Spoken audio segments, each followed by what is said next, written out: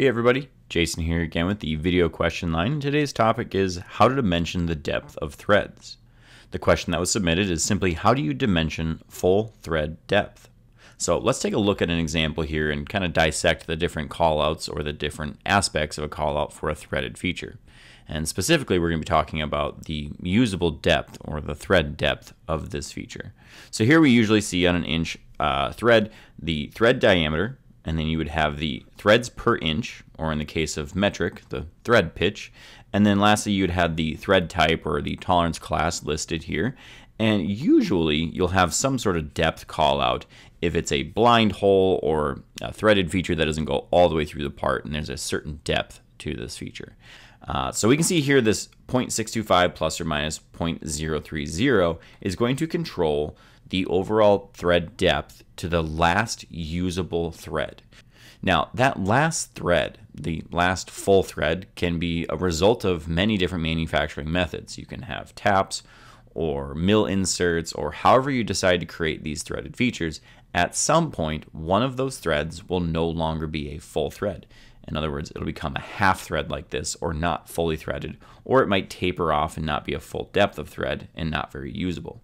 So really, what we're trying to say here is this dimension and its tolerance is trying to control the location or the depth of the last usable thread.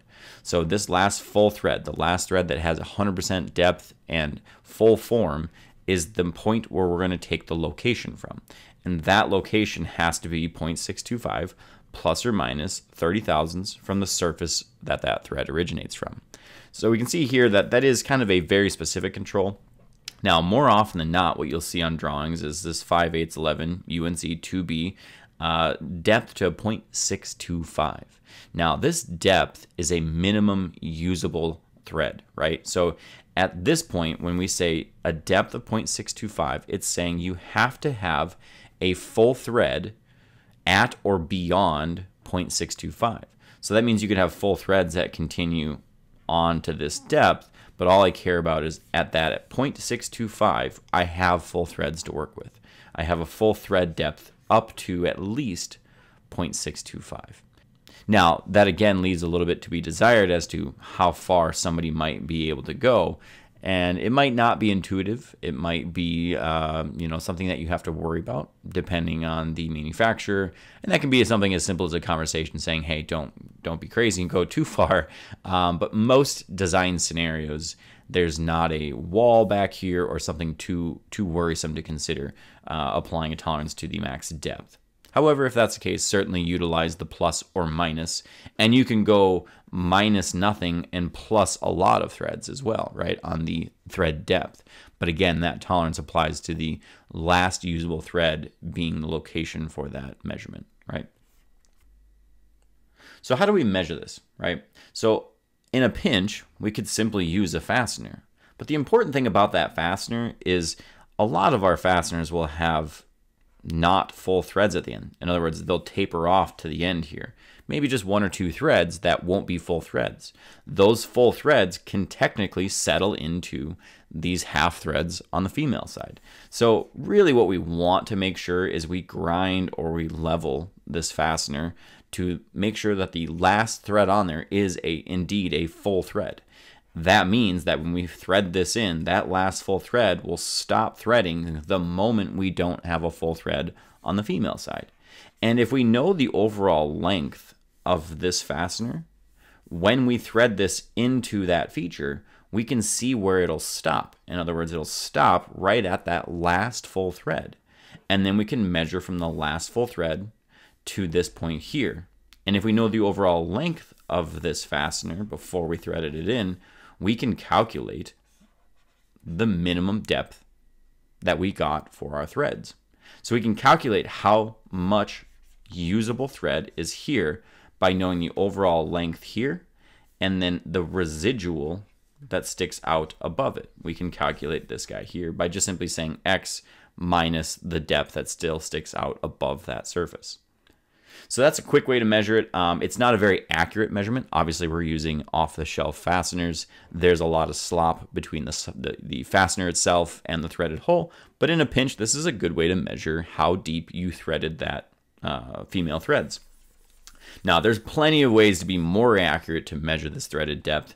Um, you could utilize something like a thread gauge, who has much more accuracy in trying to determine the thread depth. But again, these also have very specific types of threads. Some of them have lead ins that you should not count uh, when checking the depth of this thing, right? So you could use this tool just as similar as you would use this tool. You'd thread it in there until it stops, measure the amount of that tool sticking out of the hole, and move on with your day. Now, there are very, very specific gauges that you can have built and manufactured to the specifications of your drawings uh, if you're very concerned with the measurement of that thread depth. Um, and basically, it would look something like this, although it'd be a manufactured gauge and it has little windows here that says as long as this little window uh, sits above or below the required surface, you can check that thread depth for that feature. Um, again, these are manufactured. They're rather expensive relative to um, just a simple fastener or a thread gauge like you would see here, but you know, sometimes we care about the accuracy of our measurements much more than just a quick check like this here. But if you ask most of the inspectors out in the industry, they're going to use a thread gauge or some sort of fastener or some sort of gauge that has these threads on it. They'll thread that into the feature, measure how much of that tool is sticking out above the surface, and subtract that to get their minimum uh, thread depth that they've acquired in that inspection. So that's a quick summary of how to check threads here. Uh, and you can see that uh, there's plenty of ways to do it. Just know that the uh, dimension and the tolerance on the drawing is dimensioning and tolerancing the minimum usable thread, right? So that last thread that is a full formed thread, that sets the location of our measurement, and that measurement has to meet the specifications on the drawing. So hopefully that clarifies things, and thanks Our for submitting. goal is to be your best source for GD&T information online. It's important to us that everyone involved in engineering and manufacturing have the chance to learn and better understand GD&T on your prints. We have many free resources to help you get started on your learning journey. Subscribe to our GD&T community using the link in the description below or visit our website. Test your knowledge with our GD&T and print reading quizzes. Download helpful charts and access articles